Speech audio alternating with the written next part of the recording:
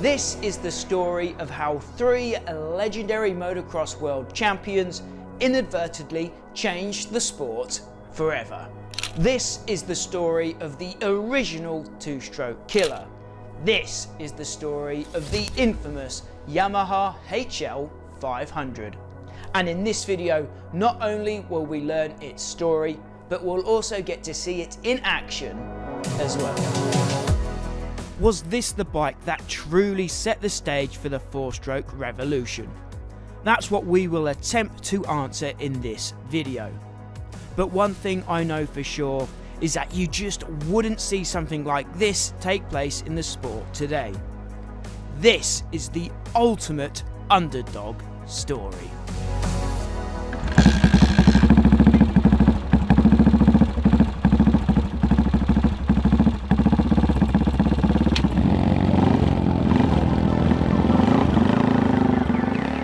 Early days of Grand Prix motocross were dominated by British-built four-stroke machines. BSA were the powerhouse brand of the day, but their reign as kings of the sport was brought to an end by a Scandinavian invasion led by the Swedes and Husqvarna. These Vikings came over aboard their small, lightweight two-stroke machines and took the motocross world by storm. Names such as Torsten Hallman, Bengt Aberg, Sten Lundin and Rolf Tibblin etched their names into the annals of motocross history during this time. The age of the thumper was over. It was time for the two-stroke to reign supreme. By the time the Japanese decided to embark on their own invasion of the dirt bike world in the early 1970s, memories of those British built four strokes and their former dominance were fading into the mists of time. It's hard to imagine nowadays, but back then, two-stroke technology was just seen as being so much more effective for off-road use. In fact, up until 1970, all 172 dirt bike models produced by Yamaha were two-stroke powered machines. In the wider world of motorcycles though, the tide had begun to turn once again. Even as early as the 1970s, environmental and emission concerns in the booming US dual sport market led manufacturers to head back down the four-stroke path for their desert and trail bike machines. Regardless of that, two smokers remained the real kings of true off-road riding. But in the 1970s, Yamaha were well aware that the EPA were aiming to outlaw all road-going two-strokes by the end of the decade. So, in response, in 1975, Yamaha unveiled their first four-stroke powered trail bike, the XT 500. There was also the TT 500, which was the stripped down, pure off-road version of the XT 500. Both of the machines were designed specifically for the US market and were to be sold there exclusively. And the general public loved the XT 500. It was said to be everything the old British thumpers should have been. It had loads of torque with a silky smooth power delivery that made it very easy to ride which was very much the opposite of the big bore two smokers of the same era. However, the XT500 wasn't supposed to be too happy at high speeds, and obviously the suspension was lacking also. And although the TT500 was supposed to be the off-road specific version of the bike, the machine just wasn't up to handling serious trails, let alone the motocross track. At 300 pounds, it was just too heavy, too slow, and the suspension just wasn't competent enough. Despite the limitations of the machine as a whole, the effectiveness, efficiency and usability of the XT500 motor did turn some heads and set imaginations running wild inside the minds of two very influential motocross champions. Having raced Grand Prix motocross from 1959 through to 1971, and collecting four 250cc motocross world championships along the way, Torsten Hallman was one of the most revered and well-respected names in the sport in 1975. After his retirement from racing in 1971, Hallman was hired by Yamaha to help develop their YZ race machines. And at the start of 1975, Torsten heard about the soon to be released XT500, which was ready to be unveiled to the US market.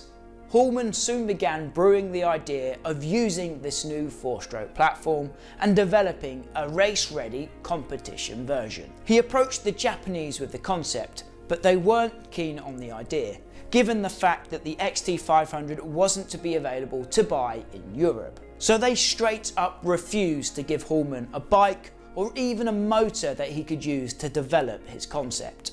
Luckily for Hallman and his four-stroke dream, that year's ISDT was to be held in Europe, on the Isle of Man in fact, and rumour had it that American racer Gary Surdyke had brought over a prototype XT500 to use in the event. Surdyke didn't have the best of times with his machine expiring on the third day of competition. But as the legend goes, Torsten Hallman tracked down Mr. Surdyke on the island and purchased the XT500 off of the American right there and then. And just like that, in October 1975, Torsten Hallman owned the only XT500 in Europe. Like I say, that's how the legend goes. But in order to verify those stories, I have actually been in contact with Mr. Hallman himself but we'll hear from the four-time world champion a little later in our story.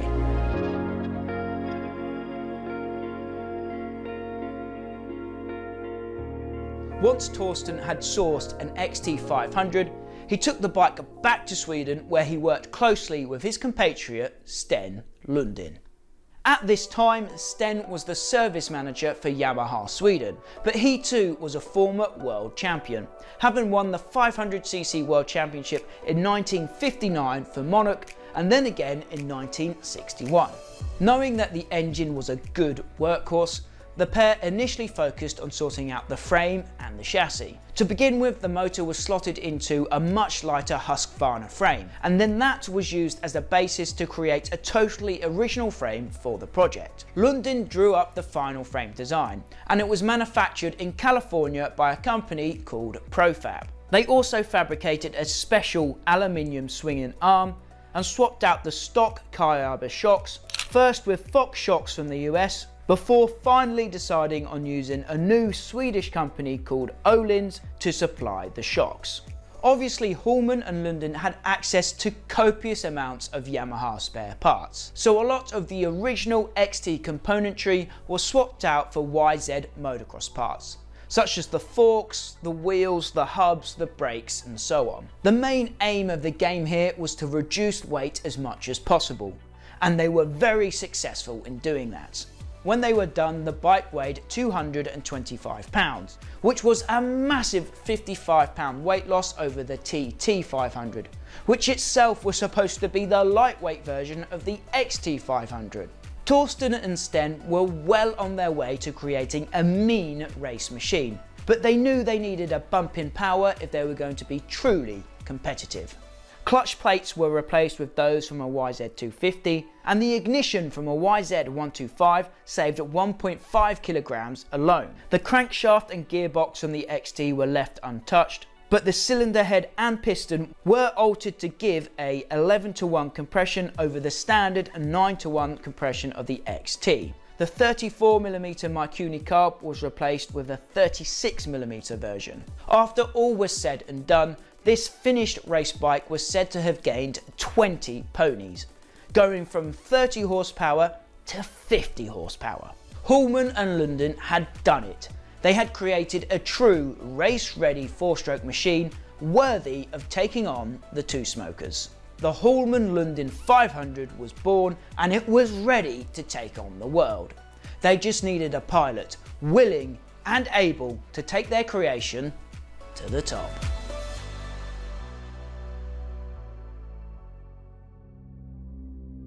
By the end of 1976, Lundin and Hallman had realised the true extent of their achievements. They hadn't just reworked an XT500, they had created a true race machine. They believed that they had a bike ready to take on the 500cc World Championships, and that's exactly what they set out to do. Apparently the Yamaha factory race team weren't too keen on the idea whatsoever, but Hallman went over their heads and straight to the Yamaha Europe HQ in Amsterdam. He arrived with a plan and some carefully calculated costs. He asked for a $15,000 budget to set up a small team to compete in the 1977 500cc World Championships. And although initially hesitant, Yamaha eventually gave the green light to the Swedish legend to go ahead and prove the world wrong. After all, they had just made a U-turn on their US only distribution, so an XT based machine racing in the Grand Prix would be great marketing for the arrival of the XT500 in Europe. The legend of Hallman's meeting with Yamaha goes on to say that in order to get the deal over the line, the four-time world champion made the bold or brash promise or prediction that the HL500 would in fact finish inside of the top 5 at least once during the season. But once again, we'll get the lowdown on whether that actually happened when we catch up with Torsten. Hulman and Lundin were able to hire veteran Swedish racer and the third and final world champion in our story, Bengt Aberg to race their bike through the 1977 Grand Prix campaign. Having won the 500cc World Championship in 1969 and 1970 for Husqvarna, Aberg was more than qualified to lead the charge in what Hallman hoped would be the four-stroke revolution. The HL500 is also referred to and widely known as the Aberg Yamaha. It was a steep learning curve for this small team of four-stroke enthusiasts. A string of bike problems and punctures throughout the early part of the season dampened spirits somewhat inside of the HL camp. But Aberg had shown good promise on board the machine. And with a bit of lady luck on their side, that promise came to fruition at the German GP, where Aberg was able to clinch a third place in the first moto. That result meant that Hallman was able to keep his promise to Yamaha, and it was only the midpoint of the season. Aberg managed another third place ride at the British GP after a torrid time in North America for the US and Canadian Grand Prix. Luck definitely hadn't been on their side much throughout the season. But all of the hard work and heartache was about to be rewarded at the penultimate round of the year in Luxembourg. Once the gates dropped for Moto 1, Aberg was embroiled in an epic battle with the Montesa mounted Hakan Andersson. As the race continued, Andersson faded backwards, and Aberg dropped the Montesa man. The HL 500 was all alone and on top of the world. Unchallenged, Aberg brought it home ahead of Andersson and Heikki Mikkola. He crossed the finish line to take the first Grand Prix moto win for a four-stroke in eight years.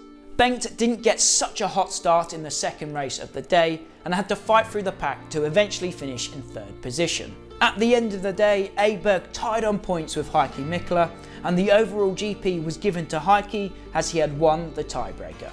Nevertheless, this was a grand achievement for Aberg and his small team. They had seemingly achieved the impossible, and at the time, this result was considered to be a truly historical event. When all was said and done, Bengt Aberg finished ninth overall in the 1977 500cc World Championship. He was the second highest placed Yamaha rider, only behind Heikki Mikkola, who went on to win the championship that year. This book right here, Yamaha Dirt Bikes, has been a massive help in my research for this video. And I just wanted to share a line from the book that I thought was very interesting and highly amusing. In regards to that moto win in Luxembourg, the author Colin MacKellar writes, this was the first GP moto win by a four-stroke for eight years. And probably the last ever. Little did he know, hey, little did anyone know back then what was to come around the corner in the moto world. Whether it's an old bike or a new bike, a two stroke or a four stroke, we always use the best stuff in our machines, and you guys should too. In terms of oils, lubricants, cleaner products, and everything else like that, we use Putoline and specifically Putoline MX9 two stroke oil for our two stroke machines. So be sure to check out Putoline, there's links and more information in the description down below. Support the brands that support us, and we can continue to bring you bigger and better videos each and every week. thanks as always to Putoline.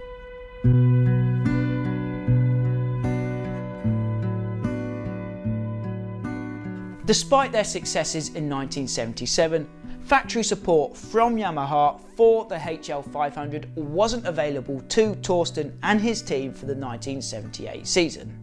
But encouraged by their previous triumphs, Hallman ploughed on with the project. He instructed Nils Hedlund to develop a free valve head in order to boost power for the new season. But results were lacking in 1978 and Hallman was frustrated. It's reported that he asked and he begged Yamaha for a smaller, lighter four-stroke motor, which they eventually did develop, albeit 20 years later.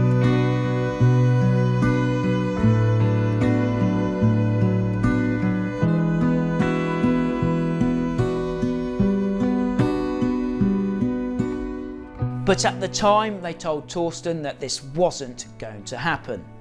So he decided that there could be no future for a four stroke in World Championship motocross. He pulled the plug and the team was disbanded. But that wasn't quite the end of the road for the HL 500. The Aberg bikes had garnered quite a lot of attention and interest. Bengt had built a nice little fan base for the HL 500, and one of those fans happened to be a manager at Yamaha Europe. He commissioned a small batch of Aberg replicas to be produced and sold across Europe. Aberg's spare race bike was sent to the Norton factory in Shenstone, England, and a very, very limited amount of machines were produced in 1978. And it just so happens that my good friend Dave King has one of those bikes in his collection. So let's take a closer look at Dave's bike before we head to the track to find out how a HL 500 performs and feels in the hands of a modern rider.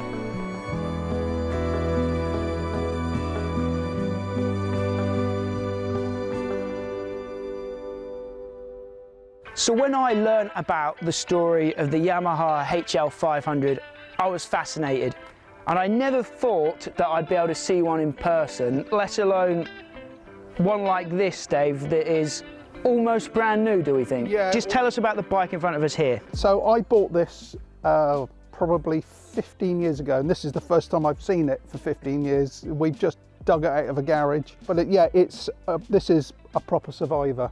So just tell us what you know about the HL story then. Everybody saw four strokes as big, heavy things.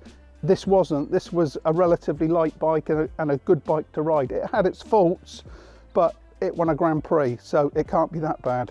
So those race bikes that Aberg raced in uh, 77 inspired these ones. They was commissioned by Absolutely. Yamaha Europe, right? And made here in England. Yep. So this is one of those bikes that's made here in England. Not many, right? No, so Yamaha commissioned 200 bikes to be made for sale in 1978 and 200 Mark IIs to be sold in 1979. And which year is this? This is a 78, this is the Mark 1, based on the 1977 Grand Prix bike. So there's only 200 of these were ever made. How many do you think survive? There's, there's probably about a thousand that survived because there's so many copies. It was quite an easy bike to copy. They were all based on the same thing, but they all had their little quirks and, and flaws. They were not mass produced in Japan, they were hand built in England out of the Yamaha parts bin because all of these parts came off of different model Yamahas that were available at the just time. just talk us through. Go from front end to the back. Just talk us through some of the parts and some of the quirky bits. front end was on a standard bike was Yamaha 1978 YZ400. The tank was off a YZ125C 1976. Rear mudguard off a YZ125C. The seat off a YZ125 seat. So you can see why it, it looks small because this part here was 125. That's why riders like riding it because it was fairly heavy down low, but uh, on the top it was an extremely slim bike. The side panels were handmade in fiberglass. The swinging arm was handmade in England. And the wheels were again YZ400E 1978. So it was a real collection of collection of parts. And the the frame itself was that Curtis, right? No, well, Brian Curtis, Famous BMX frame guy. famous BMX and motocross um, frame builder, Brian Curtis of Frome in Somerset, England. He was working for a company that made the frames. So he did a lot of the, the welding. The bike came as a a great package of parts, but they were expensive, and that's why they did. Again, they didn't sell. Just talk to me about that pipe, Dave. Yeah, so the exhaust pipe, there's no silencer, it's just straight through. And as I used to race these bikes, I, I know a lot about them. This, what I would call the bomb here. Now, FMF, maybe when the four stroke thing kicked off, FMF um, patented the name, I think it was, they called it the bomb. The Bomb, yeah, yeah. Well, they shouldn't have done that because NVT did this in the 70s. They invented it. That's what it's there for. Straight through and exits there by your by your boot. Loud then. It, it was extremely loud. Yeah. Anybody who, who used to race these have, has got damage hearing, me included. So you've you've referenced it there. You talked about it. you raced these. Not this one. You've had a few of these over yeah, the years. I probably own six or seven of these bikes. The 78 and the 79. They both had their subtle differences, but they were lovely, lovely bike to ride. So you've single-handedly owned like two or three percent of the HL 500 Possibly. Oh, I, yeah, no, I, I, yeah, I probably traded many more than that over the years. So what were they like to ride? Because I'll, I'm asking this for a reason because I am going to ride one of these. Don't know if you can tell, I'm a little bit shorter than Dave, so I'm They- worried about that. Yeah, they are quite tall. They're quite a short wheelbase, so they turn very, very easily, but that means that the front end will come up on you quite easily as well. They are powerful. They they were great bikes. The weakness with the XT500 engine was the gearbox, third gear. Lots of hard use, and that th- third gear would destroy a motor. Good luck. Yeah, thank you. I'm looking forward to that. I think uh, we'll see how it goes. So next shot, I think I'll be in gear at the track. Or trying to start it. yeah. Yeah, that's the thing. How easy are they to start? Um, I never had a problem because I've got long Yeah, your legs. legs I've as long noticed your legs are substantially shorter than mine, so you may have an issue, especially if it's muddy. Yeah. Well, fingers crossed. Wish me luck.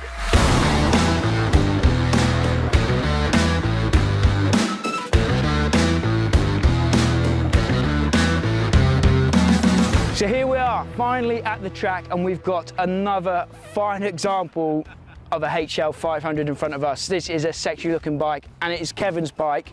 Kevin, tell us about this machine. How is it different to the one that we saw earlier on with Dave King, and how did you come to own this? So this is a full replica um, built by the good lad over there. Well, frame wise, So you had a, an example of the original frame from back in. from from when they The were built. 70s, Yeah, yeah. from when NVT were doing them. We copied that apart from the rear brake. Everything else is exactly the same. Apart from the forks, and the forks are a, li- a little bit more modern yeah, a forks, bit right? more modern. What is it about the HL 500s that kind of like you love? What entices you about these bikes? Because you had a few, right? Yeah, I built two of these. Yeah, I built actually I built two for myself and I built a couple for the the Drayton frame lads. I just love the look of them.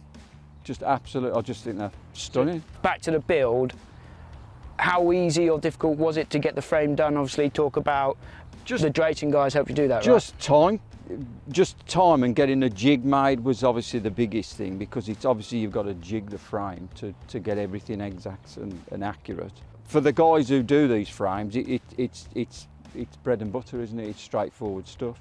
So Kevin, Drayton Frames, who obviously built the frame for this machine, what else do they do? What do they usually specialise in? Their, their specialist is is um, pre 65 trials. That's their main thing. They do anything from a Bantam Tiger Cub, 350 Triumph, and they have done a couple of um, Green Lane bikes. So essentially what we've got here, the bike we saw the other day with Dave was a genuine machine from back in the day, from the batch of 200 that was produced in Britain back then. And this one is a replica, A of, those, of those bikes. bikes, yeah. yeah. But the motors are the same. Everything exactly the same. Everything. So we're here at Brewery MX today. MX, yeah. I'm going to spin some laps on the HL 500, see how it goes. And as a little bonus, Kevin's also somehow wrote me into a, a race or a competition on this bike in a few months, but we'll keep that under our hats for now. But just expect to see this bike back on the channel in a few months' time. For now, though, Let's go riding.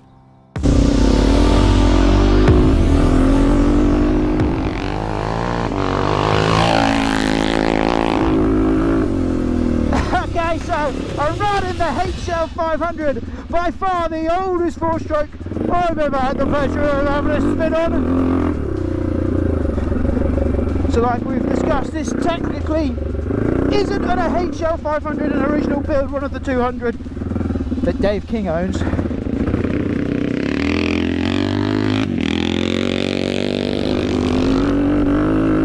It's a replica frame, replica chassis, but for all intents and purposes, this is what it felt like to ride. One of those bikes back in the day, and this is a lovely example.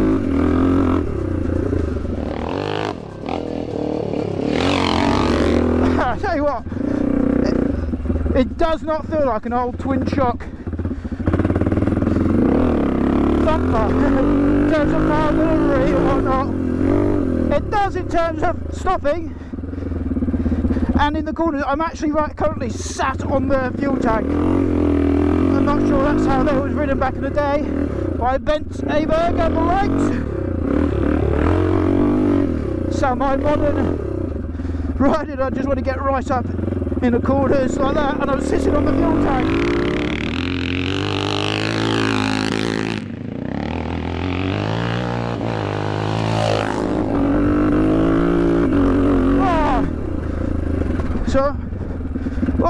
Can't stop. Nearly overshot. so this little kiddie track here, it's a bit wet here in England at the moment, so I'm just spinning around this kiddie track to get used to things it feels pretty fast, you know.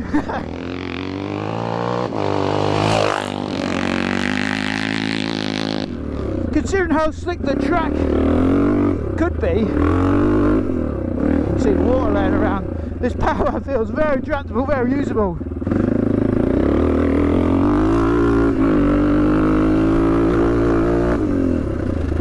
On the brakes, those uh, old drum brakes locking up the back. Oh, Got to make sure you're in the right gear, otherwise that power could be a bit snatchy like it was there.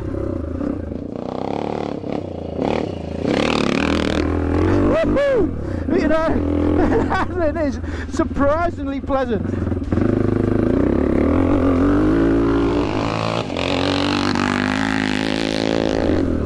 I was not expecting, expecting it to not to turn very well. Well, I say that, Dave said it would turn well because it's such a short wheelbase. And he was right.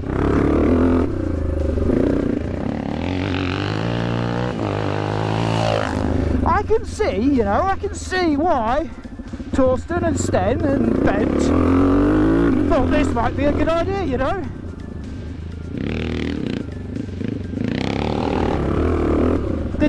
The first four-stroke to win a GP in eight years?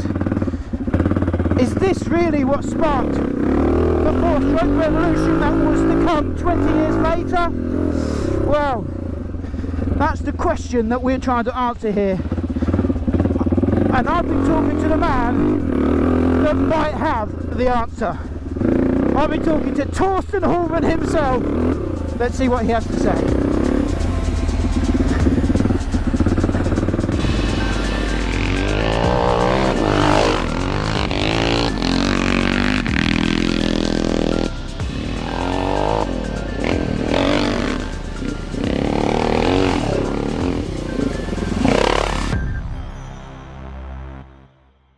Called this bike a machine that changed the sport forever. Now, I guess that probably isn't strictly true. That title should go to the YZ400, which was the first properly developed OEM four stroke of the 1990s.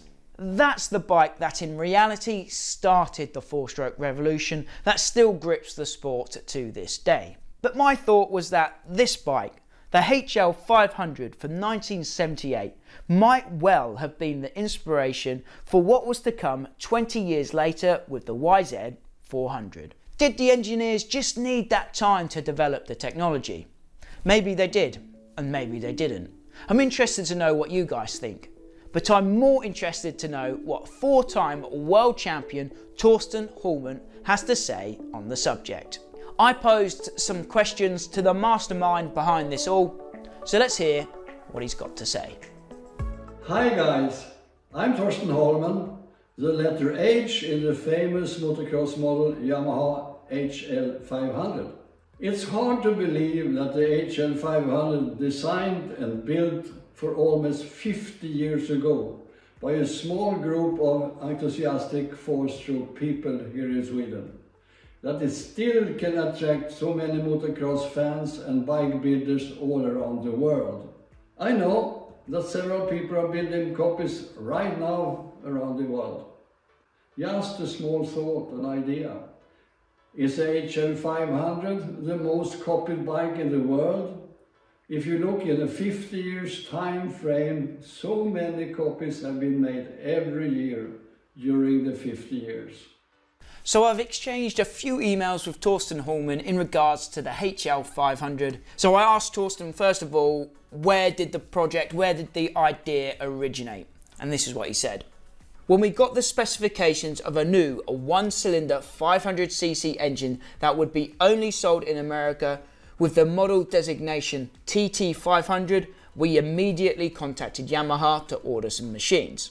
But unfortunately, we were turned down. Why was there such great interest on our part? In the first place, it was Sten Lundin, who was the biggest four-stroke enthusiast of all of us at our company. He studied the specifications and pictures carefully and was convinced that Yamaha had designed an engine that would be suitable in motocross. So the original idea came from Sten, but both myself and my partner in the company, Stefan Einkvist, were just as enthusiastic about the idea. We were convinced that with the right rider and a more modern four-stroke engine, they would be competitive. From the beginning, we hadn't even thought about entering a team of our own into the World Championship Series. In retrospect, you might think it was a shot in the dark. As I mentioned earlier, I wanted to try and work out if some of these legends around the HL 500 project were actually true. So I asked Torsten if the story about the Isle of Man and him tracking down the only XT500 in Europe was true. And this is what he responded. As I mentioned in the introduction, Yamaha did not want to send motorcycle models or engines that, at that time, were not planned to be marketed in Europe. However, we were lucky when my partner in Torsten Hallman Racing in La Mesa, California, Lars Larsson, was visiting Sweden to prepare to ride the ISDT on the Isle of Man. I had talked to Lars about how we had failed to get the TT500 bike slash motor to Sweden. When Lars came to the six days, he met an American who was going to participate on a TT500. Lars then calls me and tells me about this. Right away, I said, Lars, buy it right now. Make sure it comes to Sweden when he's done with the race. Another one of the legends that I had heard about the HL500 was how Torsten travelled to Amsterdam to convince Yamaha Europe to fund some of the project, and that he promised them a top 5 finish would be coming that season. I asked him if that story was true, and this was his answer. After the test rides had been to Bengt's satisfaction, and he confirmed that he would like to ride the World Championship Series with our bike, that's when the enthusiasm from my side became at least as strong as Sten's. A budget was made with what investment would cost, and we then saw that ourselves would not be able to finance the team, rider, mechanic, transport, and everything that was needed to participate. I started by pitching the idea to the Scandinavian marketing manager at Yamaha. He immediately said no, no interest. I then moved on to the marketing manager for Europe. He also said no. I then went down to Yamaha's European office in Amsterdam and asked for a meeting with the top manager, Mr. Kuratomo. Of course, I could have gone down to the Amsterdam office and talked to Mr. Kuratomo directly, but then the two marketing managers would have been angry if I had walked past them with such a type of request. You can't do that in a Japanese organisation. So now it was only the head of Yamaha Europe I had to convince. I did not promise that Bengt would earn a place among the first five, but among the first ten. What I promised and what we discussed was that I was completely convinced of the advertising value of the venture. I promised that all motorcycle magazines in the world reporting about motocross will have pictures of Bengt and his Yamaha on the front page in the coming year. I promised that all motorcycle magazines would do several technical articles about Bengt and his HL 500. I meant that Bengt on his Yamaha with his crowd pleasing riding style will be the rider that has written the most articles about, at the same time as it is mentioned that the engine comes from Yamaha's new sensational off road model, the XT500. The budget and money needed were then the topic of discussion. I asked him to note that we believe in this and our company will cover half the costs. I also stated that I personally was completely convinced that it was an investment that would strengthen Yamaha's image in the off road segment. Mr. Kuritomo needed no time to give me an answer. He said, Who can say no to such a brilliant proposal? Of course, we are paying for our share of this investment. I will also make sure that you get all the support you need regarding the technical side of things with us in Japan. Good luck. That answer was as cool as I hoped it would be. Next up, I asked Torsten about the end of the project and why the HL fizzled out as it did even after the success in Luxembourg.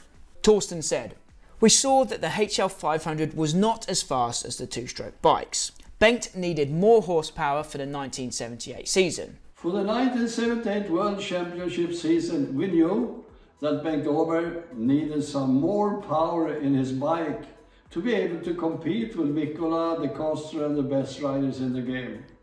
So, we contacted Nils Hedlund, the famous engine builder here in Sweden, and we said, Nils, we need some more horsepower. And in a short time, he made a three-valve cylinder and cylinder head for, for Bengt to use for the 78th season. So here you can see some of the products which was done to produce three sets of sand-casted three-valve cylinder heads and cylinders for Bengt to use. And here you can uh, see the fine job made to make the molds in, in, in wooden material. And here you can see it even better that it's wood. This is the intake, the three-valve intake. And then of course several other products which was made to make a successful three-valve cylinder head. And here you have also some of the, of, of the drawings Nils was making for the bike. So I still have everything kept in my man, man cave. Thank you for listening. Unfortunately, the extra horsepower came at a higher RPM that didn't suit Bengt's riding style. He rode in a few races with the three valve engine, but more often preferred the original. As we know, in 1978, Yamaha Europe produced a very small batch of HL500 replicas. I asked Torsten what his thoughts were on these machines and whether he was pleased to see his idea and their concept being put into production. From Hallman and Eichvist Motor AB side, we were positive and helped them with the startup of production. Both Sten Lundin and his son Kenneth spent a lot of time at the factory, helping from the beginning. But unfortunately, they couldn't build a bike that even came close to how the original HL500 was built. This resulted in many disappointed customers, as the English model was not even competitive to ride veteran races with. No, not satisfied. It wasn't what we expected, unfortunately. And I have to say, I was pretty surprised to read that answer, but it was fascinating nonetheless. Next up, I asked whether Torsten thought that their work in the 1970s had any influence on what was to come later in the 1990s with the YZ 400. After the 1978 season, we did not get any more financial help from Yamaha to continue to develop the HL project. We had good communication with the engine department in Japan. We sent suggestions on how we thought a completely new, smaller, narrower and lighter engine could be manufactured to be competitive, but unfortunately they had no interest in working with the proposals that Sten Lundin had sent but the proposals probably ended up in a drawer somewhere in the design department and looked at in the early 1990s. My final question to Torsten was simple. After 50 years, did he think that he'd still be answering questions about the Yamaha HL 500? And this is what he said. No, I could not even in my wildest dreams have imagined that I would be sitting here writing about our dear HL project. I would like to point out that it was Sten Lundin who was the original source of the idea to start the project. And that we, Stefan Einkvist and myself, as the owners of the company, were also eager supporters of the project.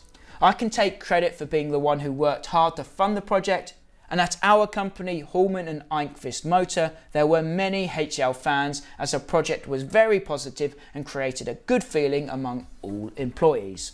They felt that they were part of a company that dared to fight against the big motorcycle factories in the World Championship. It felt great. So there we go, some awesome answers from Torsten Hallman there. I can't thank Torsten enough for taking the time to answer my questions and give us some awesome insight into the HL 500 project. The full transcript of our Q&A will be pinned in the comments down below, you can't miss it. Torsten went into detail on some of the questions that I haven't included in the video, so it's definitely worth taking a look. Okay, so there we have it. I've spun some laps on a HL 500 colour me surprised. This was a fun bike to ride. It's got that little uh, 125 fuel tank, feels skinny at the front, turns really nice, that short wheelbase like Dave King said.